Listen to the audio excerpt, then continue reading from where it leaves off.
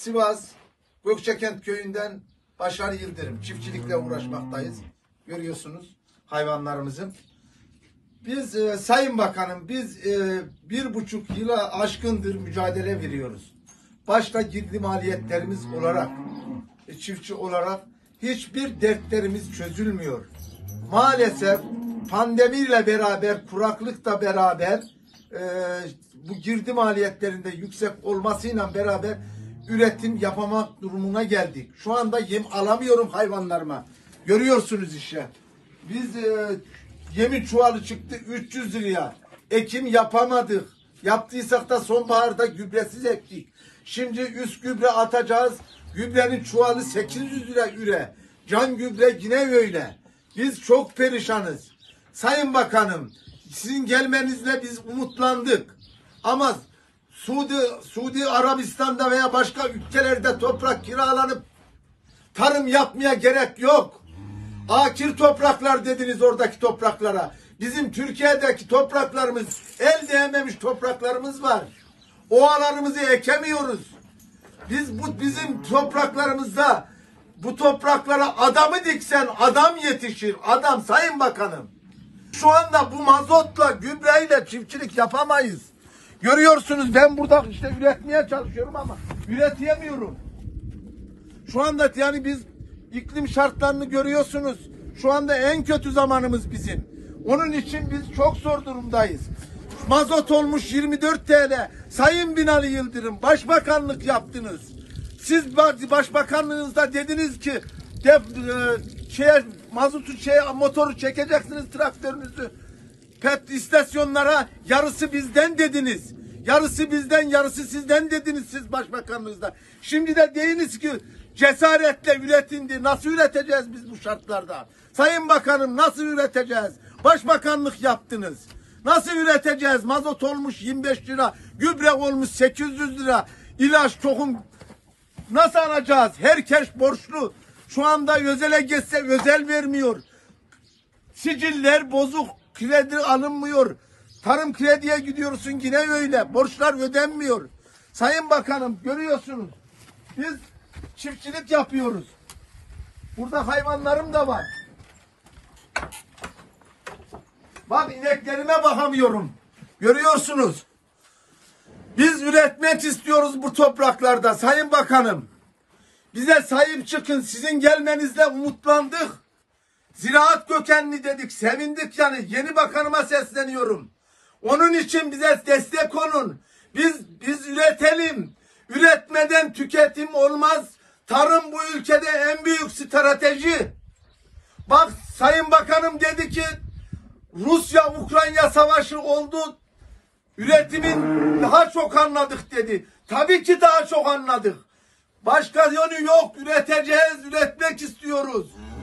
2022 yılında açıklanan desteklerde gübre mazottaki şekilsel artışlar, sertifikalı tohumdaki artışlar dışında e, desteklerde hayvancılık dahil somut bir artırım yapılmamıştı. Ve bir önceki yıla göre pandemiyi yaşadık, e, kuraklığı yaşadık, ekonomik kriz, döviz kurundaki artışlara rağmen enflasyonun %54 olarak açıklandığı bir ortamda biz 2022'de ödenecek 2021 yılı tarım desteğini %12,5 artırdık. Yani 25.8 milyar. Daha sonra 3.2'lik bir artışı Sayın Cumhurbaşkanı gündeme getirdi. Şu anda 29 milyar gibi bir artış.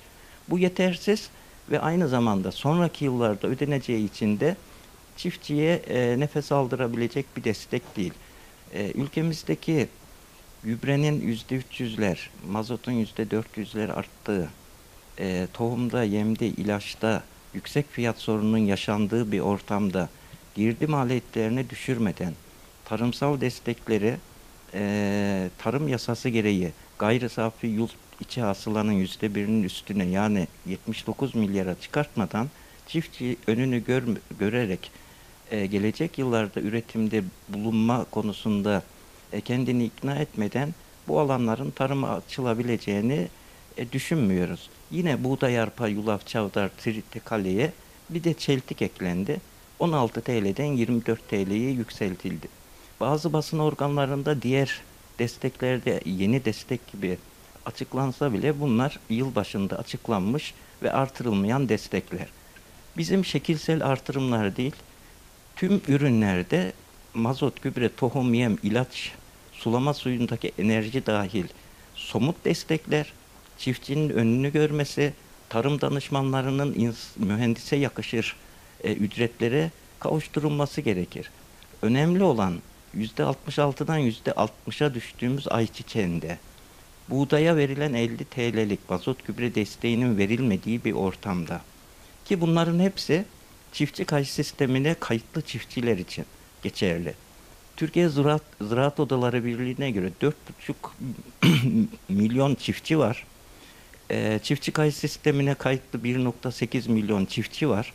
Dolayısıyla kayıt sistemi dışındaki çiftçiler de üretimde bulunurken saydığım gibi hububat, baklagil, yağlık tohumlar dahil tüm ürünlerde mazot, gübre, tohum, yem, ilaç, sulama suyundaki elektrik dahil tüm girdilerde somut indirimler yapılmazsa tarımsal destek bütçesi 29 milyardan yasa gereği 79 milyara yükseltilip 2022 yılında çiftçiye ödenmese çiftçi ne boş arazisine geri döner ne de bizim e, kendi kendimize yeterlilik sorunumuz çözülür.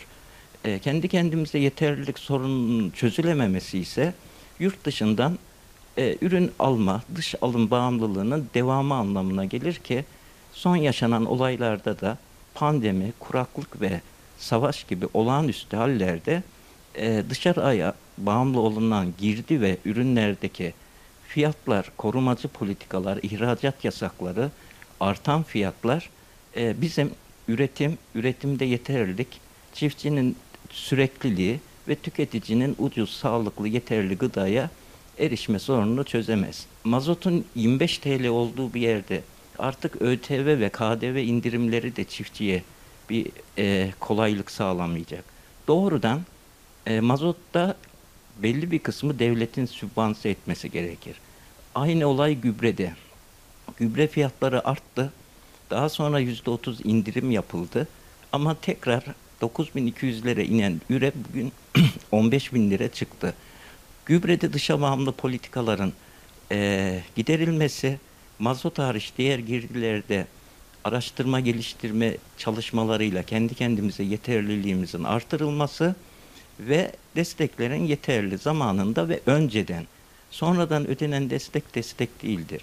Desteklemenin amacı önceden açıklanıp belli ürünlere çiftçinin yönelmesi ve uzun süreli olarak e, ülke topraklarını dengeli bir şekilde kullanarak sadece buğday üstünden değil, buğday, mısır, arpa, nohut, mercimek hepsinin dengeli ve uzun süreli somut desteklerle desteklenmesi halinde ülke düzeyinde tarımsal üretim planlamasıyla temel ürünlerde kendi kendimize yeterli olmamız mümkün. Yeter ki buna yönelik politika değişiklikleri gündeme gelsin.